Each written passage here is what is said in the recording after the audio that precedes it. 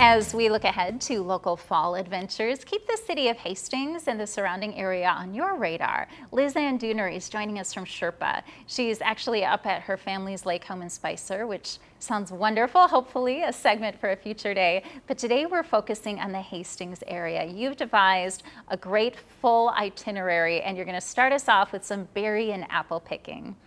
Yes. So my first stop um, coming into town is actually right outside town, the Afton Apple Orchard. Um, looking into fall, they have a beautiful production there. Apples, pumpkin patches. It's perfect for everyone.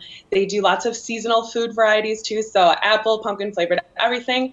Bring your girlfriends, bring a date, bring your family. It's it's family fun for everyone. Perfect fall activity. You also have a beautiful park you recommend.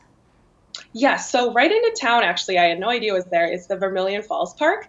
Um, so it's right along the main drag. You park, and actually, the falls is right, right just steps from the parking lot. So if you want to explore more, there's bike pass, hike pass, and there's even a fun lock bridge um, a little ways down the way. So if you remember, bring a lock, put it on the bridge, and enjoy.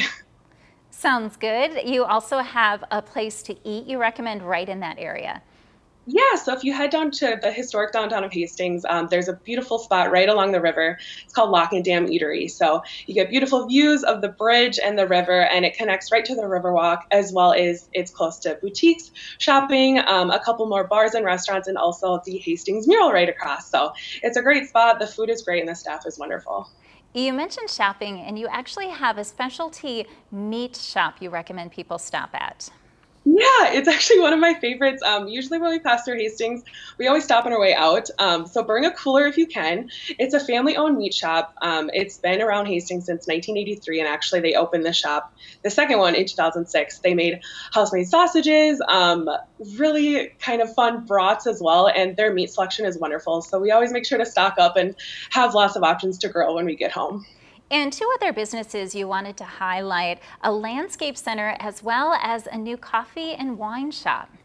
Yeah, so whether you're coming in or out of town, there's a new coffee shop called Froth and Cork. It was actually an old uh, hair salon. It's a beautiful historic building. So in the morning, you get your coffee, some light bites, and then in the afternoon, they serve wine and beer. It's actually a large space, so they have outdoor uh, outdoor seating, upstairs seating, and downstairs seating.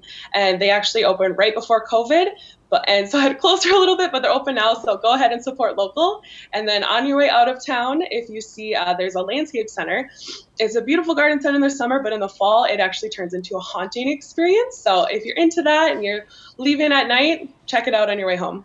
I think you've covered something for just about everyone, Liz Ann. Thanks so much for your time today. We appreciate all your recommendations.